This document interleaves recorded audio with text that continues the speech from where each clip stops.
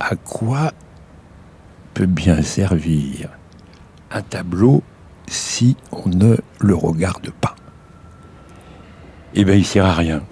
Et il finirait même par mourir. Parce que le regard est plus important que la chose regardée.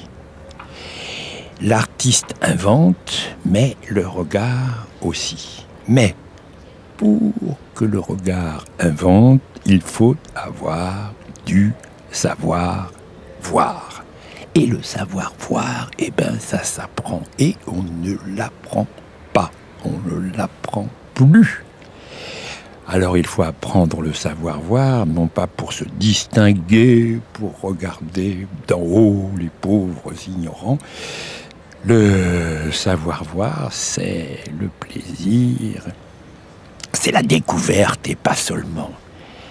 Alors il y a plusieurs manières de voir, il y a plusieurs formes de savoir voir. Et là, je vous propose une manière, ma manière, mon interprétation de Peter Bruegel.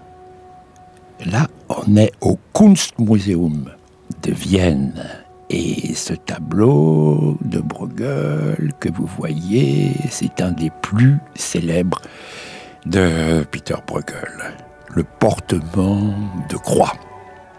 Il y a, dit-on, 500 personnages sur ce tableau. Alors on va se balader dans la peinture de, Bruegel et on va essayer de développer notre savoir